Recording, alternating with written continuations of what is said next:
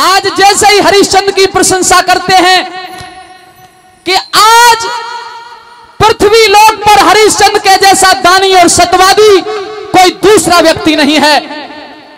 ऐसा बताते हैं कि मुनि विश्वामित्र को इस बात पर आपत्ति हुई। उन्होंने कहा, अगर ऐसा है तो मैं हरिश्चंद्र की परीक्षा करूँगा। बोले, आप कर सकते हो। प्रेमी सजनों वो इंद्र के दरबार से होकर के गुजरे। इंद्र के दरबार में भी चर्चा चल रही है और कहा गया है, हे भगवान इंद्र, अगर हरिश्चंद्र का सोमा यज्ञ भी पूरा हो गया तो तेरे जो इंद्रासन है, इसका अधिकारी हरिश्चंद्र बन जाएगा। मुनि विश्वामित्र ने कहा, कि मैं ऐसा नहीं होने दूँगा। मैं पहले उस व्यक्ति की परीक्षा करूँगा। आज तो सभी देवताएँ आपस में विचार करने लगे कि एक भक्त की आज परीक्षा होने जा रही है। प्रेमी सजनों, बताते चले। सपना आया राजा हरिश्चंद्र को। सपने में दान मांग लिया है मुनि विश्वामित्र ने। और अलग सवेरे जब दरबार में आए तो अपने दरबारियों से ये चर्चा करने लगे। इतनी ही देर में मुनि विश्वामित्र का आना हो जाता है। और किस प्रकार से? अलाख निरंजन! कोई दरबारों में सुनता हो महाराज? तो साधु महात्मा आए हैं। मैं अपने आप को बड़ा सौभाग्यशाली मानता हूँ कि आज हरिश्चंद्र के दरबार में मुनि विश्वामित्र जैसे पवित्र महात्मा पधारे हैं। मैं आपके श्री चरणों में प्रणाम करता हूँ। आयुष्मान भव। लेकिन महाराज हमने आपका सत्यवादी में पूरे ब्र- ब्रह्मांड के अंदर हर इंसान जानता है कि सत्यवादी राजा हरिश्चंद्र बहुत बड़े दानी भी हैं और सत्यवादी भी हैं। हम यह तुम्हारे तो यह तो आपका बड़प्पन है कि आप मुझे दानी भी मानते हैं और सत्यवक्ता भी मानते हैं। कहिए महाराज ये तुच्छ सा हरिश्चंद्र आपकी क्या सेवा कर सकता है?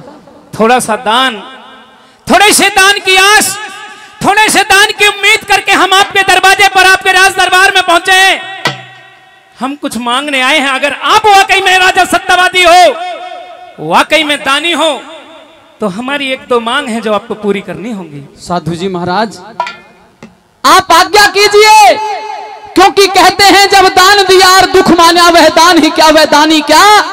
जिस दान की महिमा समझी नहीं नहीं दान दिया वह प्राणी क्या? दे दिया दान जब हाथों से और मन को उसके कष्ट हुआ लेता देता दोनों डूबे सब दिया दिलाया नष्ट हुआ। मेरे यहाँ अगर दान की चर्चा आप करना चाहते हो तो आप जो कहोगे उसी आज्ञा का पालन होगा। कहिए ऋषि सुनिए।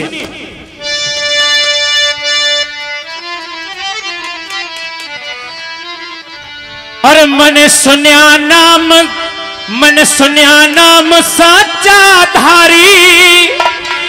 थर दान में रुका से भारी। मैं भी कह दू महाराज? कहिए। और मिले दान में चीज़ वही। मिले दान में चीज़ वही। क्या जो भी हो इच्छा थारी। अरे सुन्या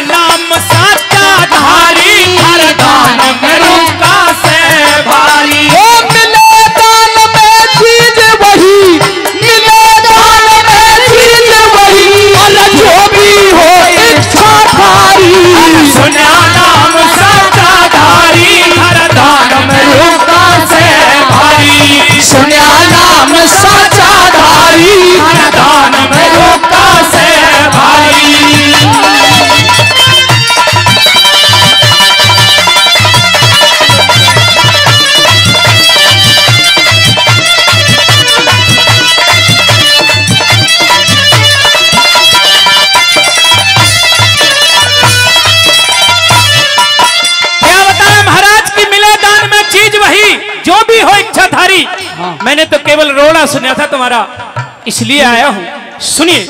कहिए महाराज।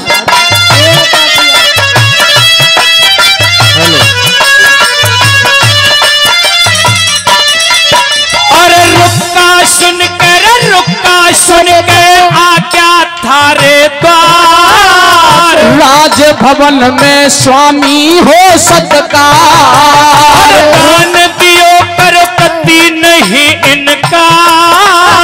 जो मांगोगे करो विप्र तैयार। अरे जो मांगोगे करूँ विप्र तैयार। कर लिया सो इकरार में, कर लिया सो इकरार में। जाने से दुनिया सारी सुनिया नाम साचा धारी दान मरो का से भारी। सुनिया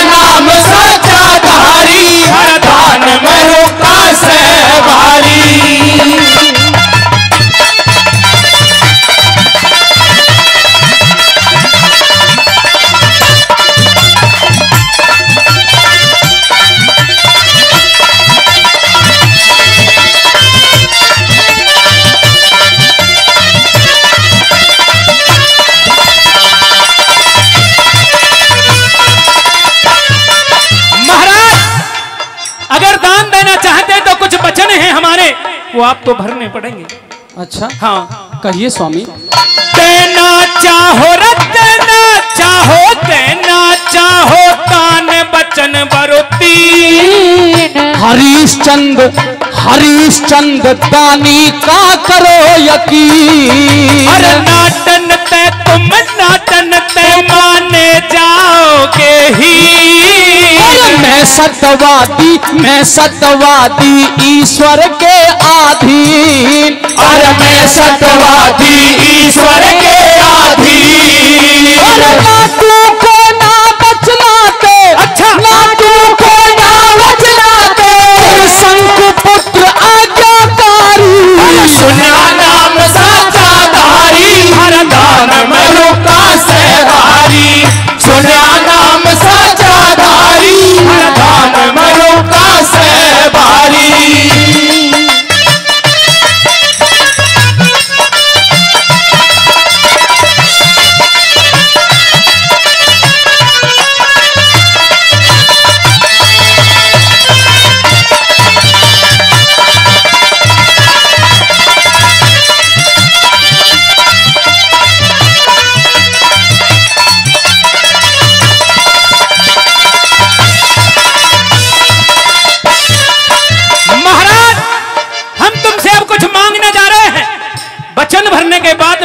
नाटना नहीं है।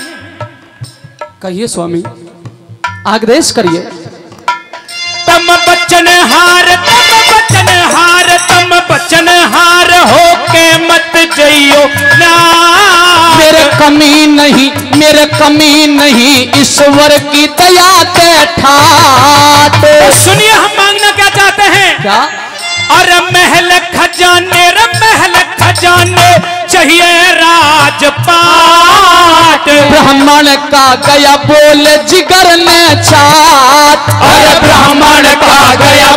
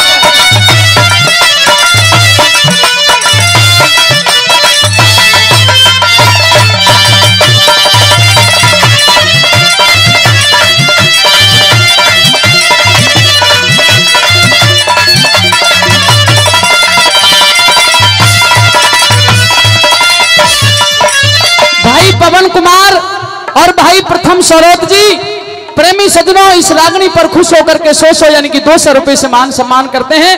जबान म्यूज़िक से अपने साथियों का बहुत बहुत धन्यवाद बार बार धन्यवाद। सत्यवादी राजा हरिश्चंद तुम्हें शायद मालूम नहीं तुमने क्या दिया है हमें? अगर मालूम होता और इससे आगे क्या होने वाला ये कुछ पता है आपको? हे ब्राह्मण देवता ए मुनि विश्वामित्र महाराज आप तो यथार्थ में अब मांग रहे हो।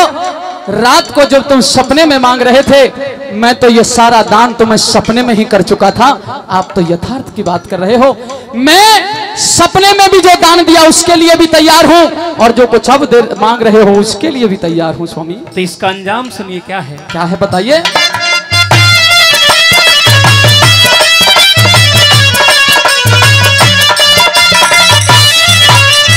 हरीश हरिश्चंद इव हरिश्चंद इस महल से लिकड़ो भार सोना दूँ तुम स्वामी साथ भार। तो सुंदर तेरा कौन पे के अधिकार? ऋषि पाल तेरा रहलू का बेदार। और ऋषि पाल तेरा रहलू का वेदार